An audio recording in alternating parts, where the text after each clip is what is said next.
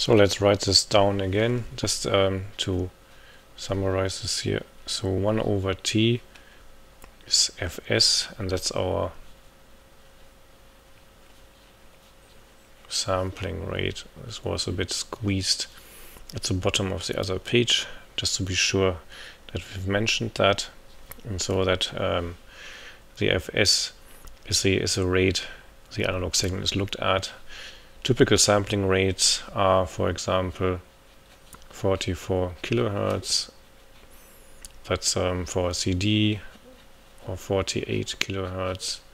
So that's that's usually the broadcast sampling rate. And um, if you have some window sounds or some notification sounds, they're very often only at 8 kilohertz. Or also on telephone communication or so, we're getting also quite lower sampling rate. So that's a rate for audio. Obviously, sampling rate for video is much is much higher, but these are classical sampling rates for for audio. Audio sampling rates. So this means we're getting 8,000 numbers per second here, 48,000 numbers per second, or 44,000 numbers per second here. So that's quite a lot already. Okay, so now now let's go to point B. So the next step in this um, AD converter is quantization.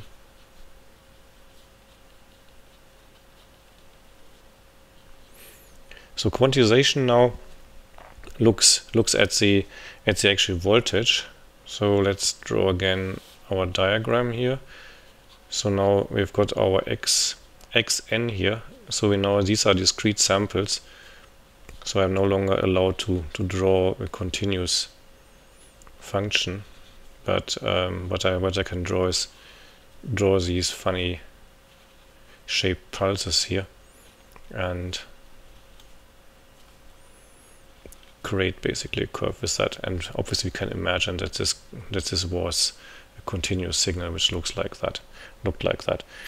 Okay so now we have um, these discrete samples here but still the y-axis here is still continuous so now we divide this here in different levels here like that and so, and then we give every level an index number. Two, three, four, five, six, seven, eight, and so on. And so obviously the finer this division, the higher the precision is. And we, in terms of the notation, we could write that this xn is transferred into something like xq of n and the q defines the defines a quantization.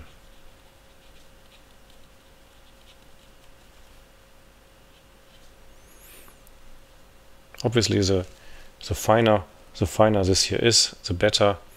So classical quantization steps are, for for example, um,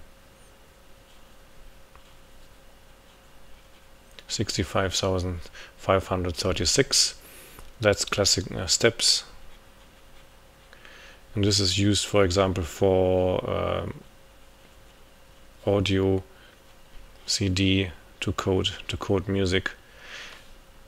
Again, if you have low quality audio signal where there's no no real no no real reproduction or faithful reproduction required, you can also live with 256 steps.